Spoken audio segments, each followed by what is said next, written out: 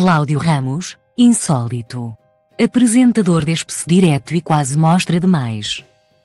Cláudio Ramos protagonizou, esta sexta-feira, 24 de março, um momento insólito no 2 às 10 da TVI. O apresentador recebeu Miguel Vicente, vencedor do Big Brother, que apresentou o seu projeto pessoal do personal trainer.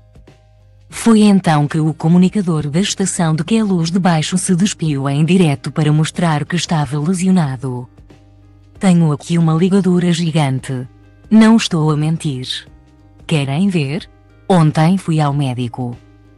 Eu dei um jeito ao glúteo a fazer um exercício um pouco estranho, contou tendo começado a despir as calças para comprovar o que estava a contar. O que deixou o convidado um pouco constrangido.